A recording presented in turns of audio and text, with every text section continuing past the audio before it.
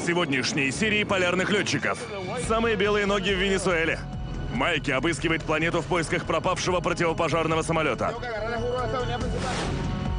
Я сделаю, что смогу. Здоровье Келли ухудшается. Можно и покурить. Ну вот. А четвероногий пассажир оставляет сувенир. Этот пес все загадил.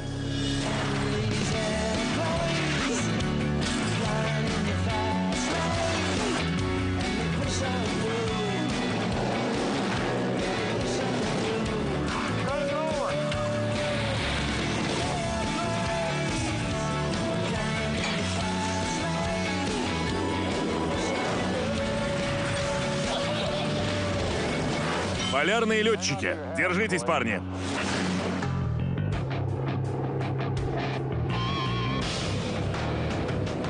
Противопожарный самолет Канады RCL-215.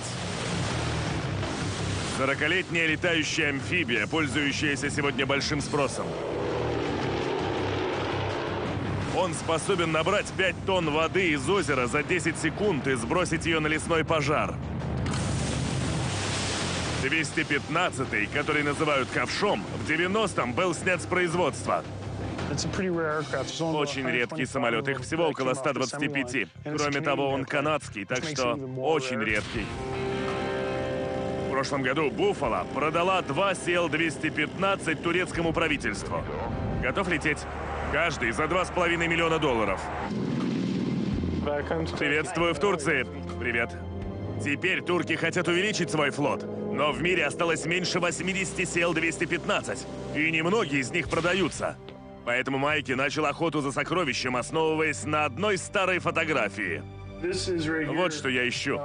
Единственный пропавший 215-й, серийный номер 1061. Майки просто одержим этим пропавшим самолетом, построенным в 60-х или 70-х годах. Когда я спрашивал знающих людей, они говорили, что он разбился, пропал, и что не стоит его искать. А я подумал, почему бы не поискать? И тогда я провел расследование. Нет никаких записей об аварии, нет фотографий. Это очень странно, ведь в интернете есть фотографии всего. Почему нет фотографий? Либо он разбился, как все и говорили, либо его очень хорошо спрятали. Один мой приятель, который работает с этими самолетами, сказал, что он в Венесуэле. Это все, что он знает. Я словно убийство расследую. Есть 10 тысяч вещественных доказательств, но только одно или два из них настоящие. Одной из зацепок стал позывной самолета — АНС-1.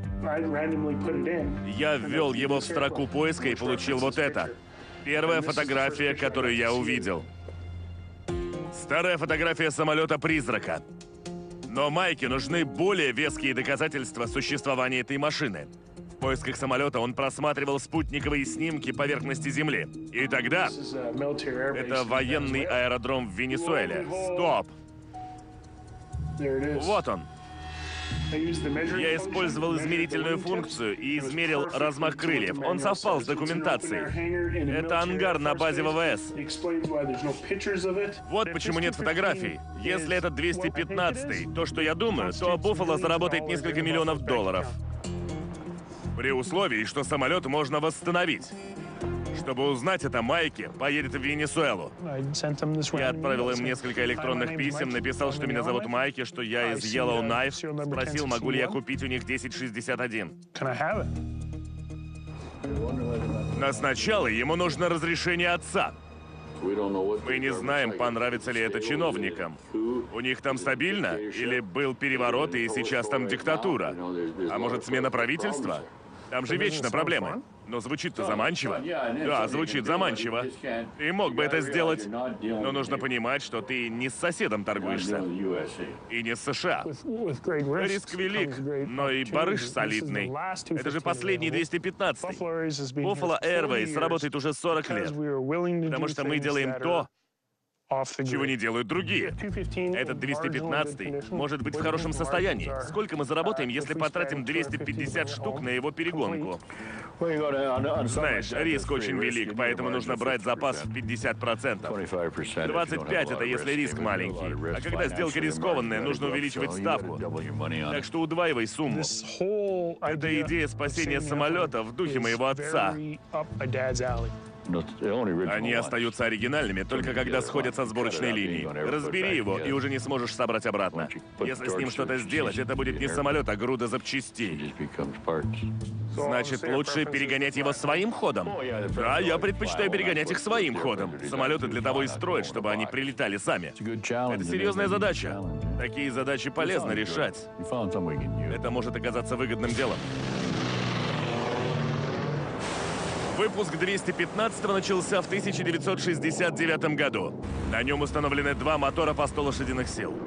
Самолет сконструирован по схеме высокоплан с размахом крыла в 27 метров, что придает ему устойчивость на низких скоростях и при порывах, возникающих над горящим лесом. Уникальная конструкция 215 позволяет ему заполнять водяные баки по 5400 литров через маленькие отверстия во время скольжения над поверхностью воды.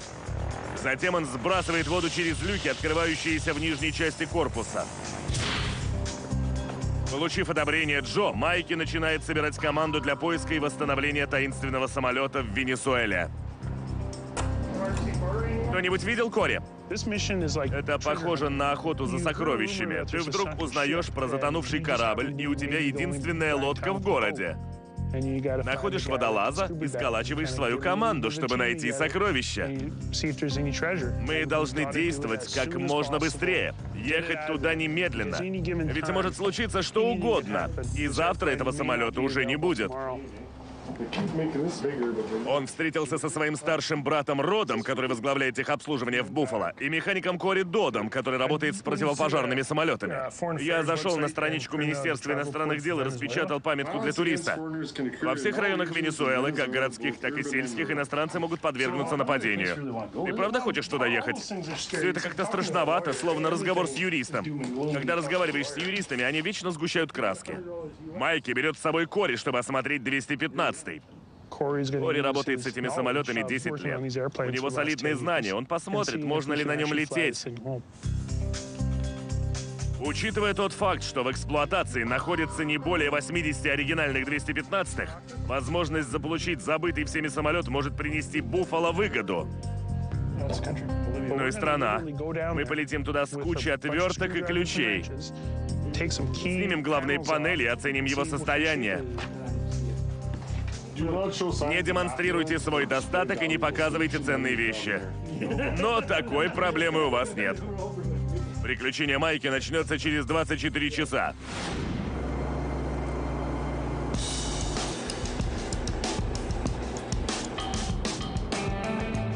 А пока в Буффало все идет своим чередом.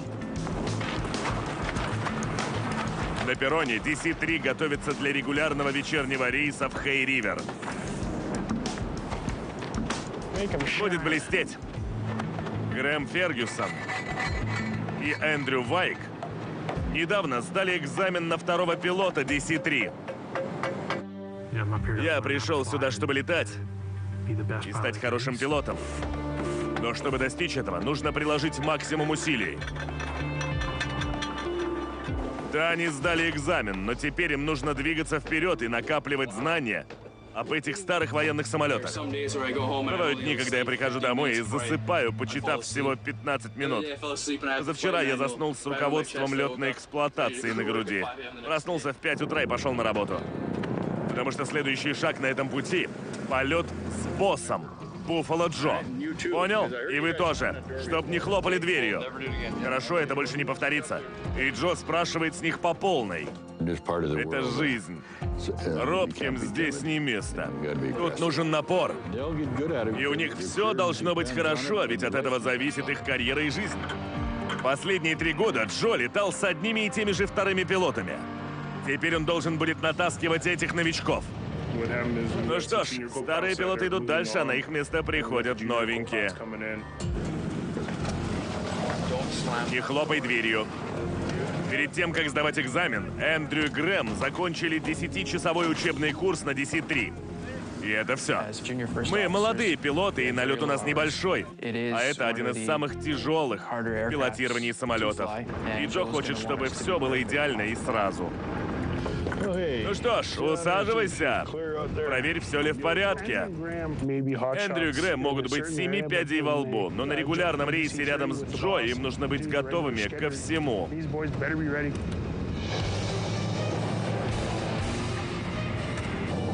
Вот оно. 50-минутный перелет с 22 пассажирами на борту. У Эндрю есть шанс произвести впечатление на Джо, который требует, чтобы все было идеально.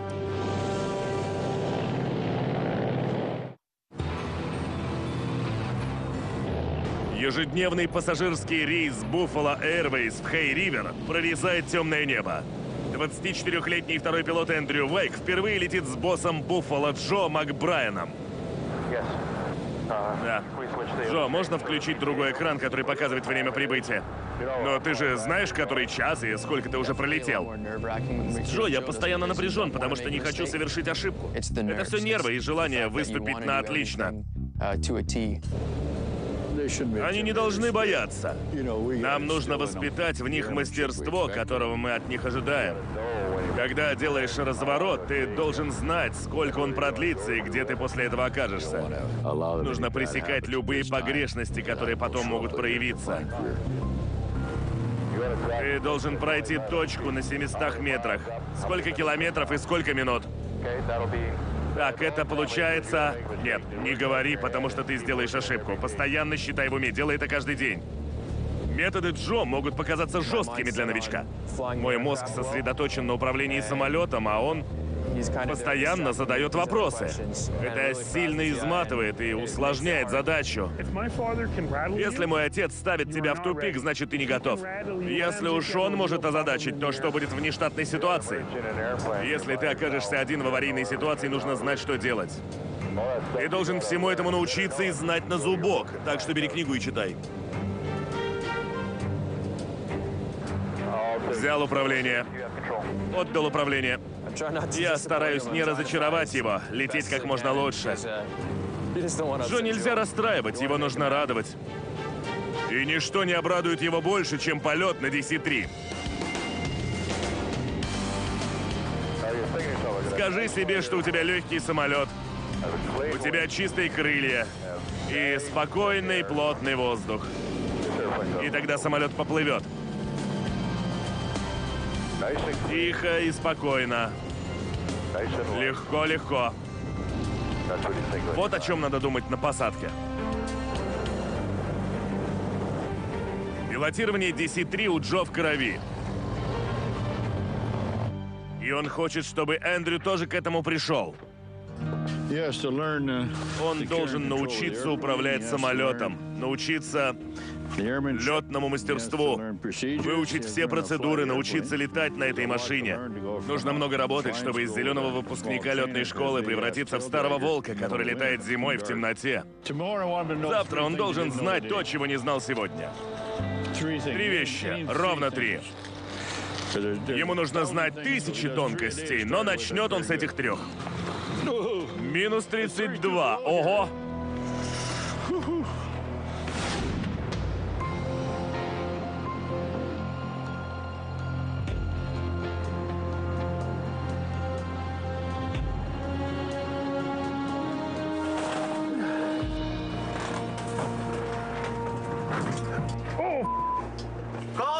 Цветная капуста упала. Что там такое? Ерунда. Сегодня Майки улетает. Он едет в Венесуэлу в поисках редкого самолета, который считался пропавшим. Но вместо того, чтобы собираться, он работает перронщиком, помогая справиться с неожиданным наплывом заказов. Когда планируешь день отъезда, он всегда оказывается неудачным. В Буффало вечная запарка. Каждый день нужно решать какие-то проблемы. И мы стараемся решать их по мере возникновения.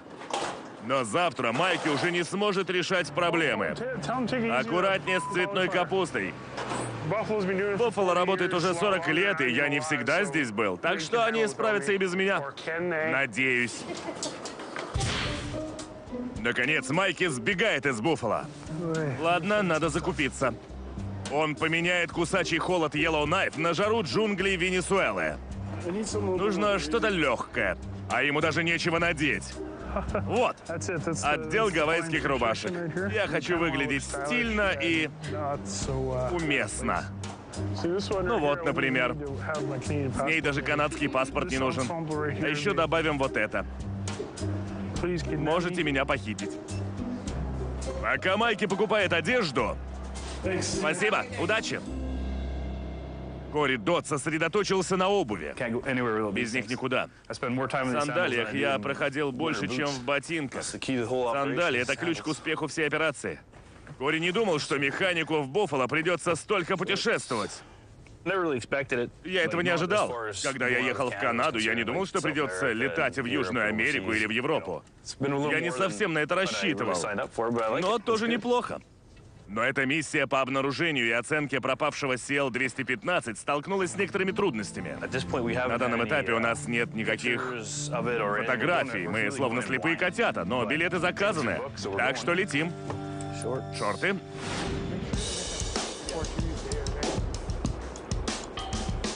Новоиспеченный второй пилот Грэм Фергюсон знает, что он в таком же положении, что и Эндрю. Я очень хочу этим заниматься, поэтому просто воспринимаю все как есть, работаю изо всех сил. А переживания только ухудшат ситуацию. Джо считает, что им еще многому нужно научиться. В течение дня нужно столько всего сделать. И сделать это так, чтобы Джо остался доволен. Как обогрев карбюратора влияет на давление в патрубке? И Джо недоволен их знаниями по DC-3. Во что превращается 600 лошадей на 1200 метрах при минус 30? Он хочет, чтобы они знали о самолете столько же, сколько те пилоты, которых они заменят. Ты знаешь, как читать график мощности? Да, он у нас есть в руководстве. Это хорошо, что он есть в руководстве. А если у тебя не будет руководства, ты должен все знать наизусть. Да. Эндрю Грэм тут же садятся за книги. Так, у тебя 15. Сейчас обед, но мы должны это знать. А другой возможности уже не будет. Джо будет нас пилить, пока мы все не выучим. На это потребуется какое-то время. Мы выучим, да. Температура всегда в районе 26. Новички полны решимости показать Джо, что они достойны летать с ним. Но выдержат ли они эту гонку?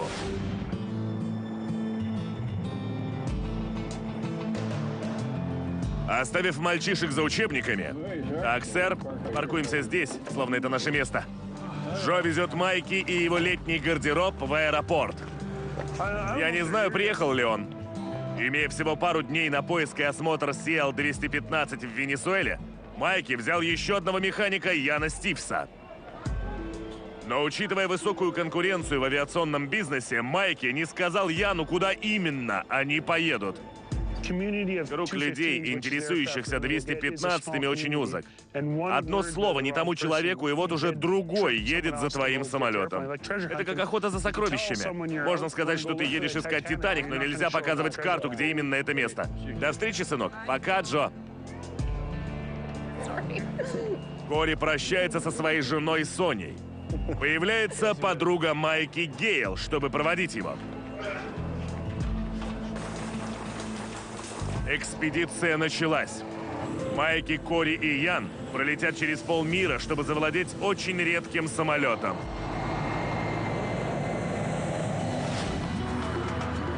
Но, быть может, Майки охотится за призраками?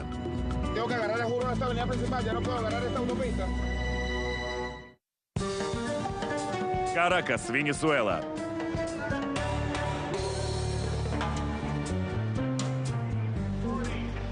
Привет, привет. Приветствую Венесуэле. Самые белые ноги в Венесуэле. Потратив 12 часов на перелет из Yellowknife в Каракас, майки и механики Кори и Ян готовятся продолжить охоту за ценным противопожарным самолетом CL-215.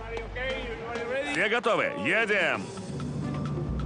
Я спросил, могу ли я приехать и взглянуть на самолет. Рассказал, что я с севера, и у нас очень холодно. Правительство Венесуэлы дало разрешение. И теперь мы едем в Пуэрто-Ардас? Да. В сопровождении Луиса Падрона, который представляет вооруженные силы Венесуэлы, Майки с ребятами поедут за 800 километров к военному аэродрому в Пуэрто-Ардас. Там они оценят состояние СЛ-215, который нашел Майки. Он готов заплатить за самолет четверть миллиона долларов и сможет продать его в 10 раз дороже, если он в хорошем состоянии.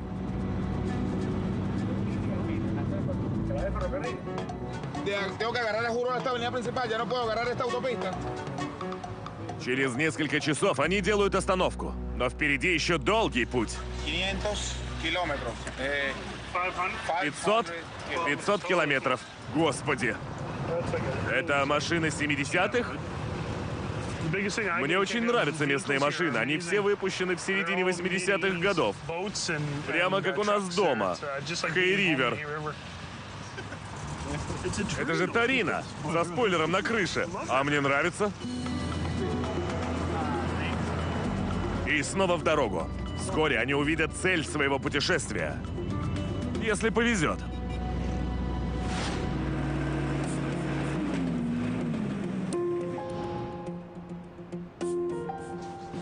Начинается.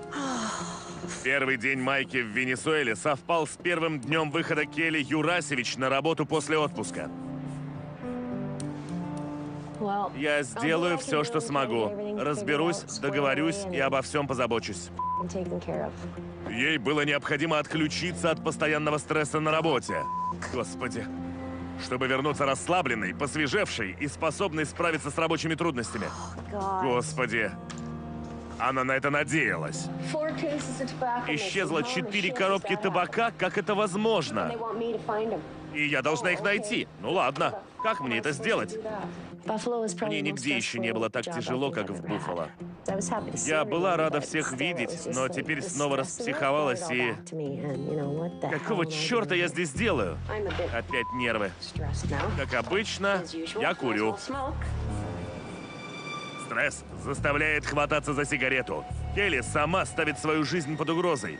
У нее нашли эмфизему во второй стадии. Врач сказал, что если она не бросит курить, то очень скоро будет дышать кислородом из баллона. Две пачки в день. А я могла бы выкурить и больше. Работа в Буффало настолько нервная, что за день может легко уйти три пачки. Должна же где-то быть лучшая жизнь. А через дорогу Джо встречается с пилотом Арни Шрейдером и инструктором Джастином Симле, чтобы обсудить успехи новичков. Я не понимаю, они заканчивали колледж или летную школу? Эндрю учился в университете Фрейзера. У них есть такая программа. Значит, он учился два года. Как минимум два года. А Грэм закончил летную школу в Виктории. Несмотря на их образование, Джон не уверен, что они готовы к пассажирским рейсам. Им нужно попрактиковаться на тренажере. Они неважно летают по приборам. Итак, Джо приказывает ребятам побольше тренироваться. Еще 10 часов на летном тренажере. Вы только не грустите, я знаю. Это тяжело, но как только научитесь, он от вас отстанет. Да, пока не научитесь, будете работать. Да.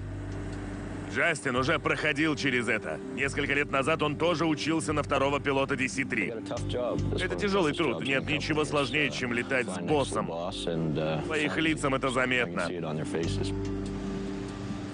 Закрылки полностью. Ты быстро идешь по глиссаде. Руку на рут. И не уменьшай мощность, понял? Эндрю и Грэм надеются, что тренировки помогут им удовлетворить требования Джо.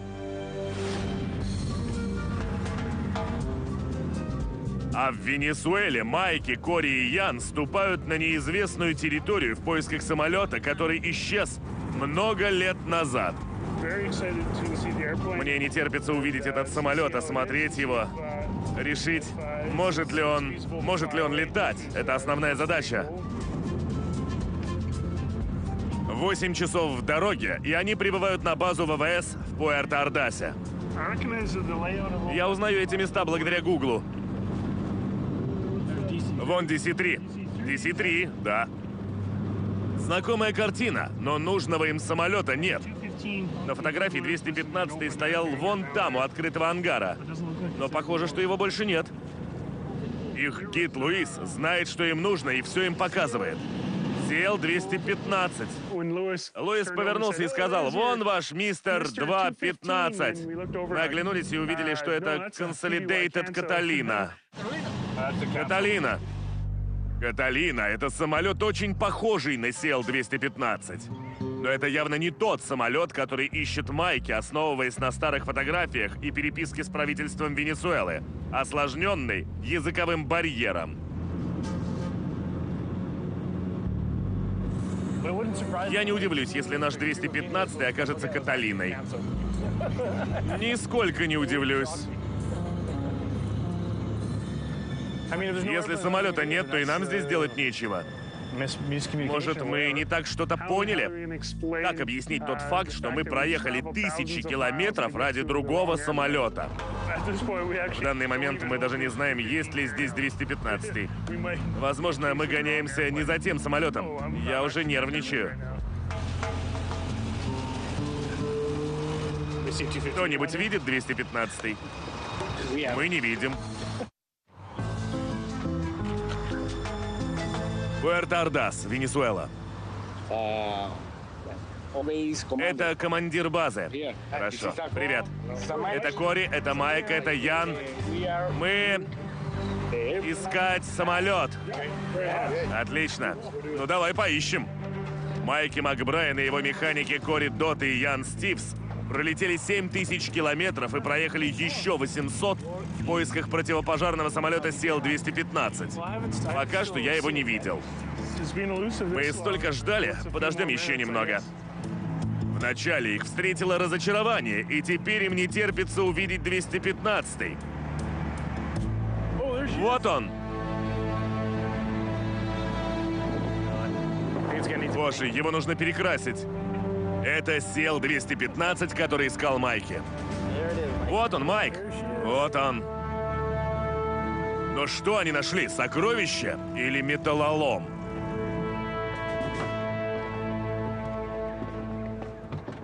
Чтобы узнать это, они начинают осмотр. Ого! Теперь Кори и Ян должны определить, сможет ли он долететь до дома.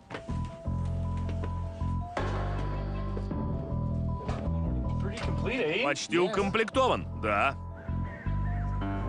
Обычно такие самолеты разобраны на запчасти. Но на этом все есть. Видишь следы коррозии? Обычно она скрыта. Радиаторы придется заменить, да. Мистер Дот, вопрос на миллион. Завтра дадим ответ на миллион. И чтобы дать ответ, они должны как следует все осмотреть. Buffalo Airways, грузовой терминал. Я ненадолго, я скоро вернусь. На следующий день в Yellowknife менеджер по погрузке Келли Юрасевич идет на прием к врачу. У нее нашли эмфизему во второй стадии.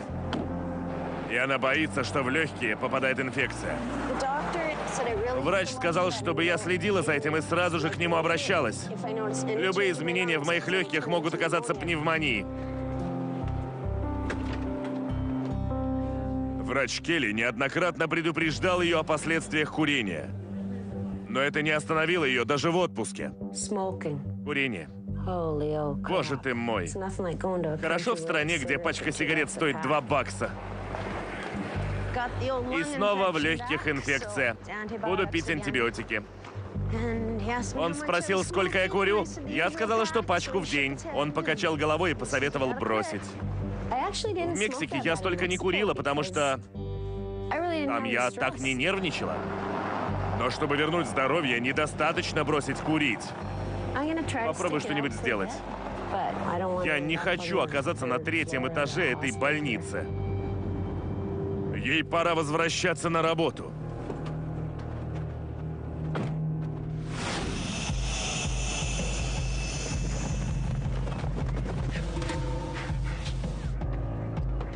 А в семи тысячах километров к югу ребята принимаются за дело.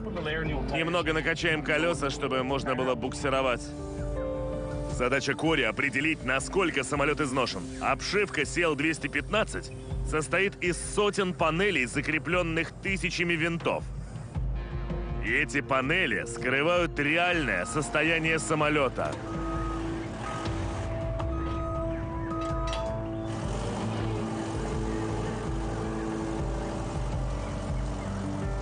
Следующая остановка Yellowknife. Мы затащим его в ангар, чтобы защититься от ветра. Я так рад видеть, что он снова двигается. Надеюсь, у нас получится вдохнуть в него жизнь и улететь через пару месяцев. У Кори есть всего два дня на полную оценку самолета. Это потрясающе. Если найдем здесь что-то серьезное, Майки будет убит. Как только поднимем эти панели, все узнаем. Прямо Индиана Джонс и Храм Судьбы. Скрываем его много лет спустя. Ну вот, сейчас сниму. Это как подержанная машина. Нужно поднять капот и все проверить. Здесь много грязи и пыли, но коррозии нет, Майки. Осталось еще сотня панелей. Давайте начинать. Если конструкция или система 215 повреждены коррозией, то этот самолет — груда запчастей. Невероятно, я не вижу следов коррозии. Ясно одно. Двигатели нужно списывать.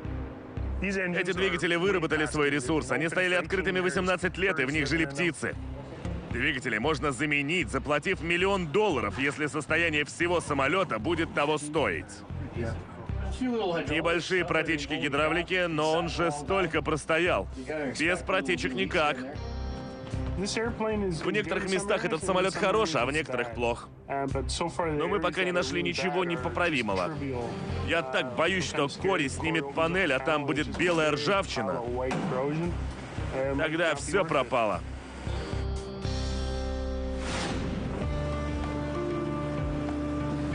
А в Yellowknife Эндрю и Грэм готовят регулярный рейс. Они много работали и налетали по 10 часов на летном тренажере. Теперь у них есть еще один шанс полетать с боссом. И на сегодняшнем рейсе будет особенный пассажир. Немецкий дог по кличке Медвежья Лапа. Что это у него на лапе? Шины и носочек. Ладно, я это сниму. Большой пес прилетел в Yellow Knife на прием к ветеринару, чтобы проверить, как заживает сломанная лапа. На Рождество его сбила машина. Смотрите-ка, он словно знает, куда идти. Его доверили Буффало, чтобы перевести домой в Хей-Ривер. Джо, который обожает животных, лично заботится о медвежьей лапе. Иди туда. Очень тепло. Пускай погуляет и сделает дела. Ладно. Иначе он сделает их в самолете. Как песик, делай дела. Эндрю летит бортпроводником. Он должен заботиться о пассажирах. Даже четвероногих. Ну давай же. Делай дела. Давай, давай, давай. Ну что ты ищешь? Он не хочет. А мне скоро сажать пассажиров. У Грэма более серьезная проблема. Он летит вторым пилотом Джо в этом 50-минутном рейсе. Джо позволяет собакам летать бесплатно. Но медвежья лапа слишком велик для клетки, поэтому он сидит впереди, сразу же за кабиной пилотов. Не наступите на собаку.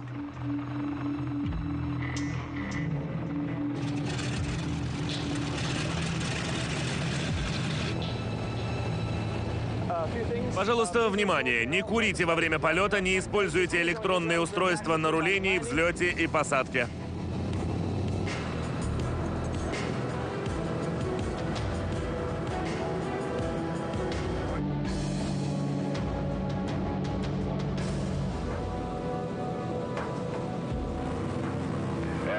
Центр, это Буффало 169. 169, слушаю.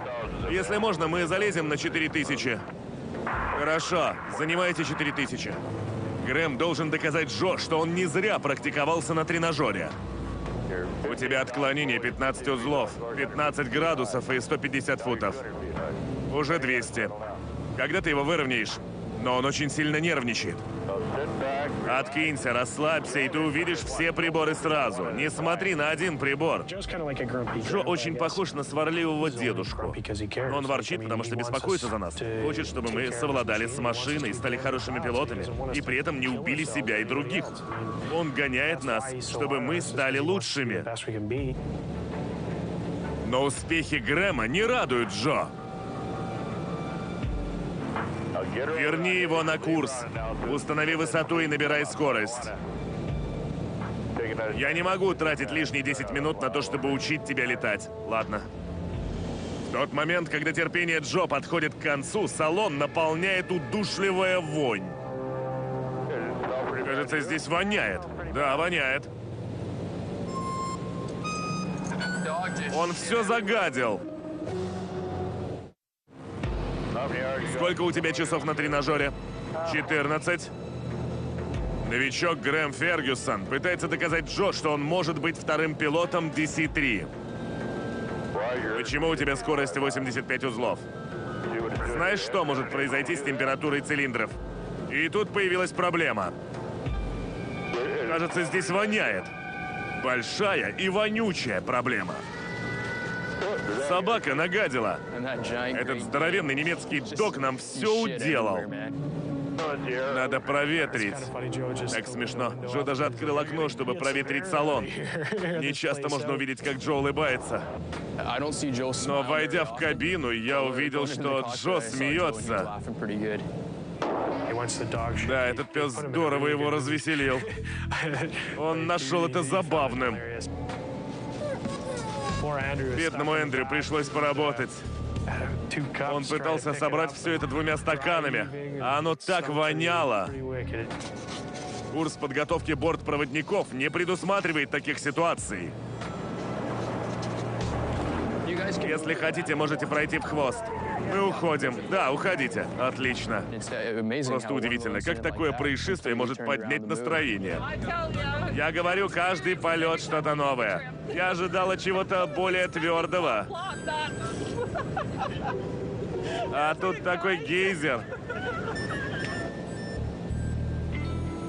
А Грэм в кабине смог перевести дух благодаря выходке собаки. Дамы и господа, к счастью, мы скоро сядем. Я вытащу вас отсюда, как только смогу. Когда приземлимся и двигатели остановятся, бегите отсюда. Простите нас. Это был интересный полет.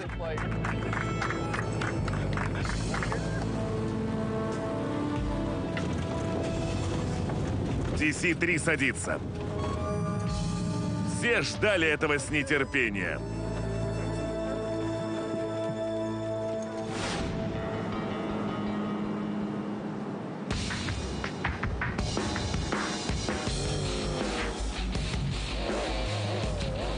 Новый день в Yellowknife. В грузовой терминал Буффало прибывают грузы.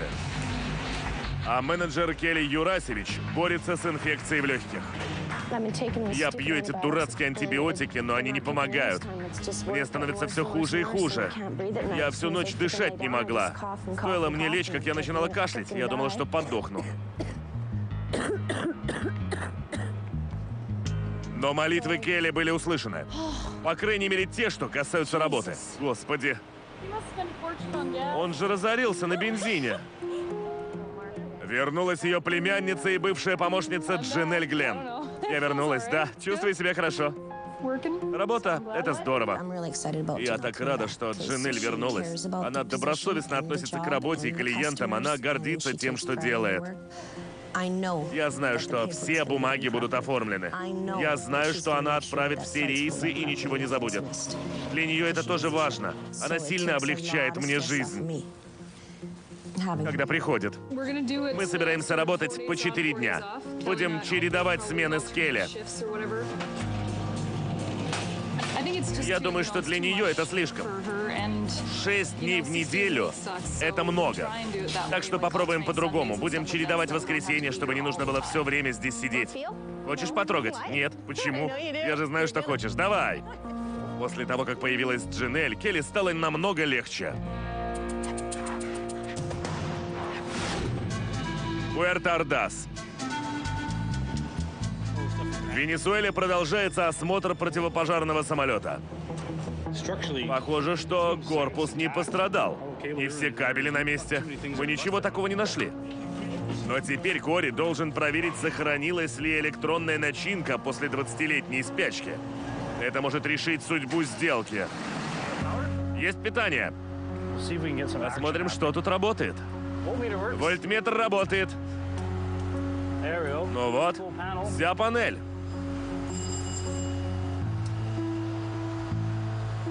Огни горят? Ого, все светится. Ну, вроде как работает.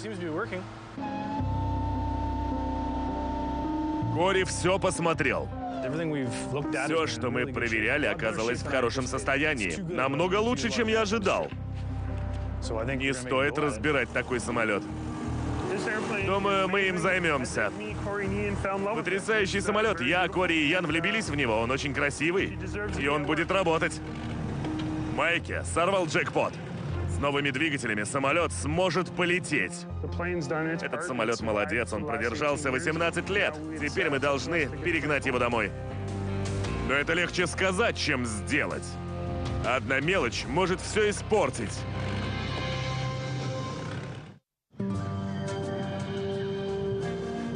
Кто бы мог подумать, что в Южной Америке есть 215-й?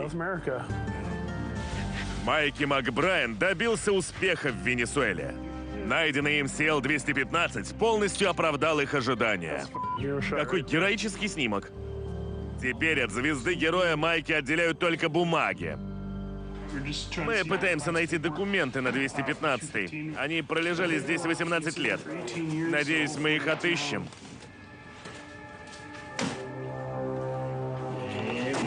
Вот все. Это все записи? Да. И все? Вот это все? Но как же вы отслеживаете компоненты? Отслеживаем компоненты? Да, те детали, которые нужно менять с течением времени. Там есть вся авионика и... Да, я знаю, но у некоторых деталей есть срок годности. Через определенное количество часов или циклов их нужно менять. Без записей, показывающих, как самолет эксплуатировался и как использовались его компоненты, машину не выпустят в полет. Да, это хороший журнал, но он ничего не дает. Единственный способ поднять CL-215 в воздух — это заменить все детали и компоненты, потратив на это несколько миллионов долларов. При отсутствии бумаг мы обязаны считать, что все детали вышли из строя и подлежат ремонту. Мы не можем доказать обратное. Пока я вижу, что самолет ничего не стоит. Я попробую что-нибудь найти. Все, что Майки может сделать, это вернуться домой и надеяться, что пропавшие записи найдутся. Иначе его поездка пройдет впустую. Следующей серии полярных летчиков. Операция «Перевозка». Паром, связывающий север с югом, встал на прикол. Компания «Буффало» должна перевести жизненно важные товары. Но сумеет ли она это сделать? Напряженный день, да? Полицейский переводит свой дом в стиле «Буффало». Пока телевизор. А Макбрайны ожидают рождения ребенка. Программа подготовлена к показу компании SDI Media. Перевод Дениса Трофимчика, текст читал Дмитрий Шандро.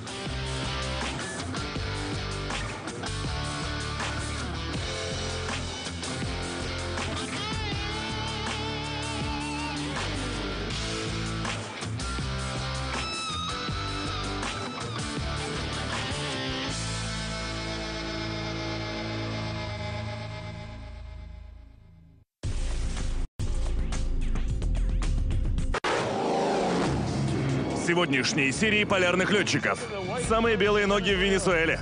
Майки обыскивает планету в поисках пропавшего противопожарного самолета. Я сделаю, что смогу. Здоровье Келли ухудшается. Можно и покурить. Ну вот. А четвероногий пассажир оставляет сувенир. Этот пес все загадил.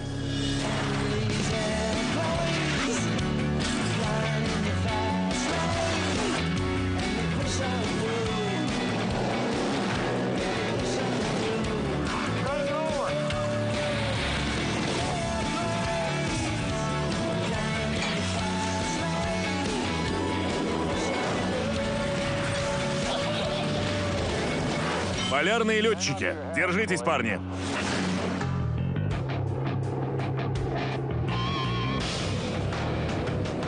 Противопожарный самолет Канады RCL-215. 40-летняя летающая амфибия, пользующаяся сегодня большим спросом. Он способен набрать 5 тонн воды из озера за 10 секунд и сбросить ее на лесной пожар. 215-й, который называют ковшом, в 90-м был снят с производства. Очень редкий самолет, их всего около 125. Кроме того, он канадский, так что очень редкий. В прошлом году Буффало продала два CL-215 турецкому правительству. Готов лететь? Каждый за 2,5 миллиона долларов. Приветствую в Турции. Привет. Теперь турки хотят увеличить свой флот, но в мире осталось меньше 80 CL-215, и немногие из них продаются. Поэтому Майки начал охоту за сокровищем, основываясь на одной старой фотографии. Вот что я ищу. Единственный пропавший 215-й, серийный номер 1061. Майки просто одержим этим пропавшим самолетом, построенным в 60-х или 70-х годах.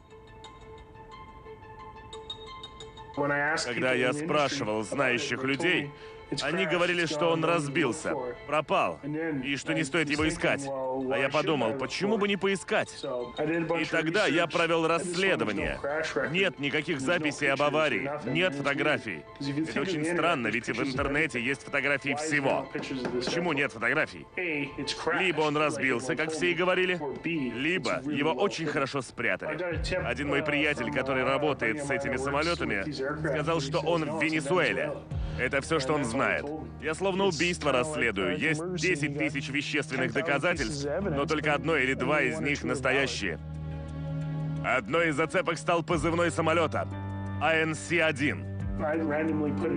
Я ввел его в строку поиска и получил вот это. Первая фотография, которую я увидел. Старая фотография самолета-призрака.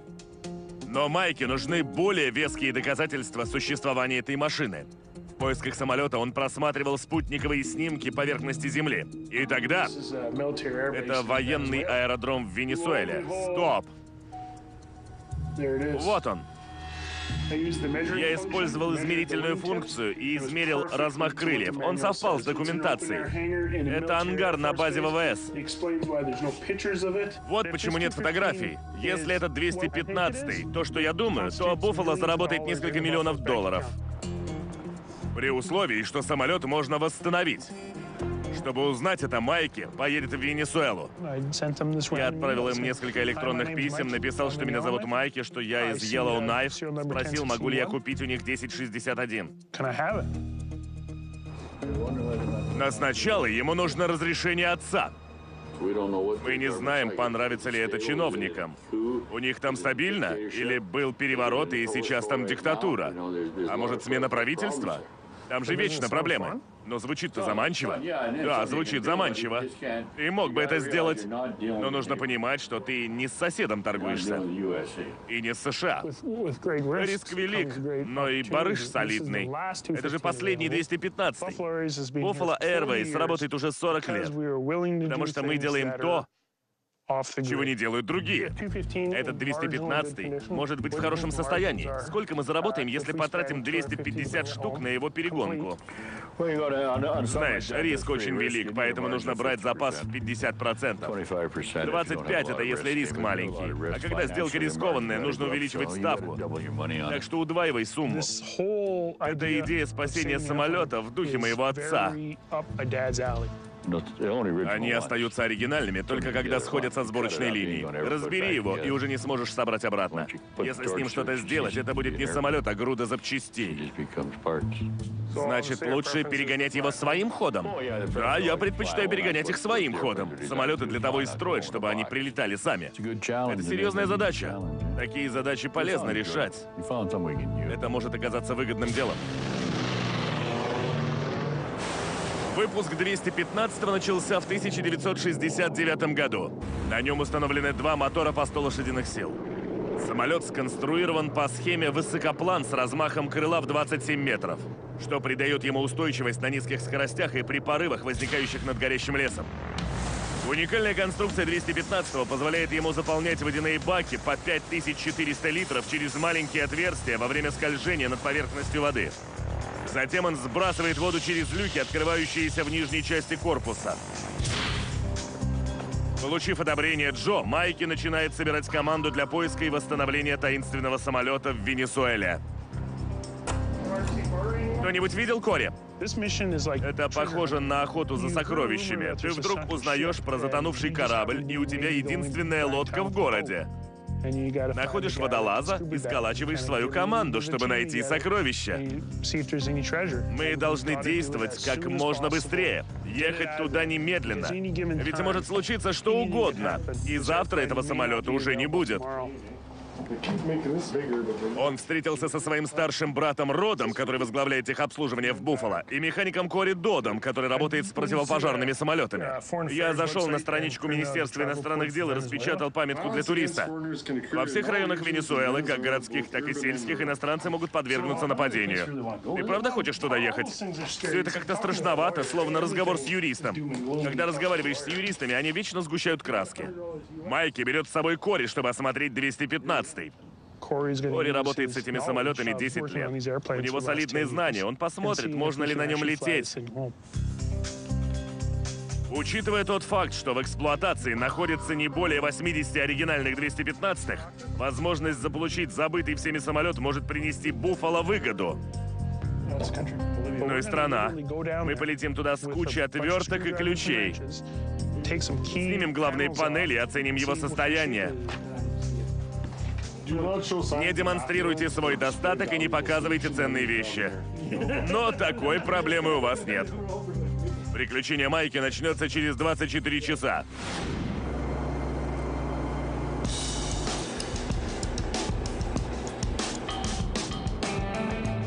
А пока в Буффало все идет своим чередом. На перроне DC-3 готовится для регулярного вечернего рейса в Хей-Ривер. Будет блестеть. Грэм Фергюсон и Эндрю Вайк недавно сдали экзамен на второго пилота DC-3. Я пришел сюда, чтобы летать и стать хорошим пилотом. Но чтобы достичь этого, нужно приложить максимум усилий. Да, они сдали экзамен, но теперь им нужно двигаться вперед и накапливать знания об этих старых военных самолетах. Бывают дни, когда я прихожу домой и засыпаю, почитав всего 15 минут. Завчера я заснул с руководством летной эксплуатации на груди. Проснулся в 5 утра и пошел на работу. Потому что следующий шаг на этом пути — полет с боссом. Буффало Джо. Понял? И вы тоже. Чтоб не хлопали дверью. Хорошо, это больше не повторится. И Джо спрашивает с них по полной. Это жизнь. Робким здесь не место. Тут нужен напор. И у них все должно быть хорошо, ведь от этого зависит их карьера и жизнь. Последние три года Джо летал с одними и теми же вторыми пилотами. Теперь он должен будет натаскивать этих новичков. Ну что ж, старые пилоты идут дальше, а на их место приходят новенькие. Не хлопай дверью. Перед тем, как сдавать экзамен, Эндрю и Грэм закончили 10-часовой учебный курс на DC-3. И это все. Мы молодые пилоты, и налет у нас небольшой. А это один из самых тяжелых пилотирований самолетов. И Джо хочет, чтобы все было идеально и сразу. Ну что ж, усаживайся. Проверь, все ли в порядке. Эндрю и Грэм могут быть семи пядей во лбу, но на регулярном рейсе рядом с Джо им нужно быть готовыми ко всему.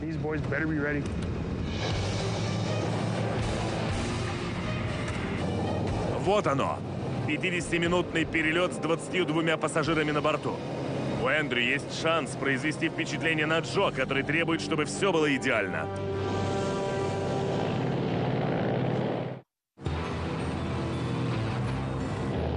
Ежедневный пассажирский рейс Buffalo Airways в Хей-Ривер прорезает темное небо. 24-летний второй пилот Эндрю Уэйк впервые летит с боссом Буффало Джо Макбрайаном. Да. Джо, можно включить другой экран, который показывает время прибытия? Но ты же знаешь, который час и сколько ты уже пролетел? Джо, я постоянно напряжен, потому что не хочу совершить ошибку. Это все нервы и желание выступить на отлично. Они не должны бояться. Нам нужно воспитать в них мастерство, которого мы от них ожидаем. Когда делаешь разворот, ты должен знать, сколько он продлится и где ты после этого окажешься. Нужно пресекать любые погрешности, которые потом могут проявиться. Ты должен пройти точку на 700 метрах. Сколько километров и сколько минут? Так, это получается... Нет, не говори, потому что ты сделаешь ошибку. Постоянно считай в уме, делай это каждый день. Методы Джо могут показаться жесткими для новичка.